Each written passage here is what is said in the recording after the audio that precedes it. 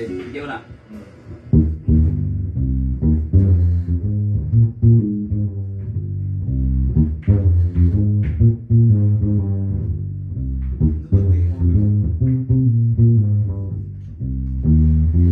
It's not the bamboo that excites me, that thrills and delights me. Oh no, it's the